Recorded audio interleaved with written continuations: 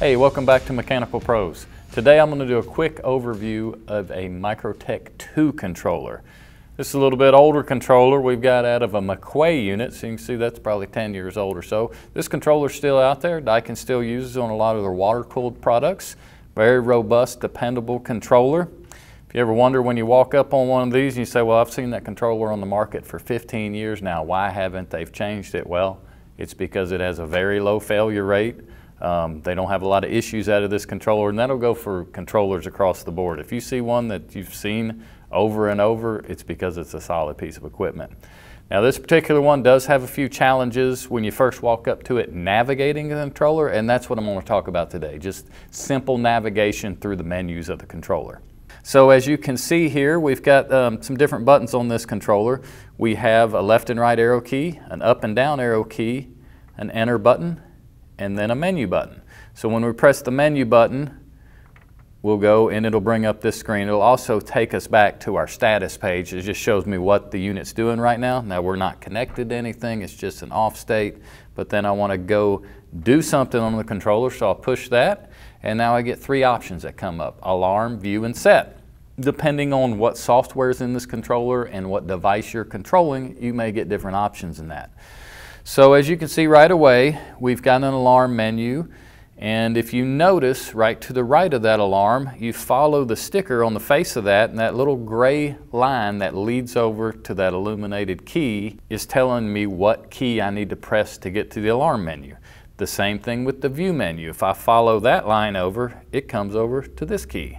And on the set menu, same thing. I follow the third line down here and go to this key. Right now on this screen I don't have a fourth option for this guy, but I will later on. So we'll go ahead and press set. Now I do get that fourth option. As you see at the bottom it says tower. With this controller, I'm, i could control some options on my cooling tower that's attached to this water-cooled piece of equipment. I, maybe I'm just going to enable the tower to run and it's going to control off its own set points. Or maybe I'm going to give the tower set points to stage the fan on and off based off water temp. So to enter that menu now, I see that I can follow the bottom line over to this bottom key and press that, and now I've opened up that menu.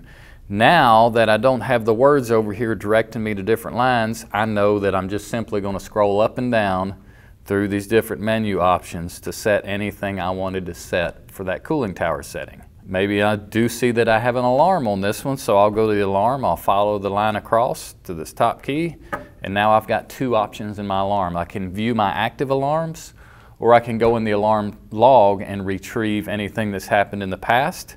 So if I want to go to the alarm log, again, the second one down follows this other gray line and lands on this key over here. And now I can see my different alarms that have been captured in the log, and I would then scroll up and down through that. So this very basic, just wanted to go over the button function on that real quick. This is what throws most people right off the bat and kind of gives the controller a little bit of a bad name is until you get around that and, and once you see it though, you'll never forget it. It's very easy to navigate once you understand you follow the little lines to the buttons associated with them.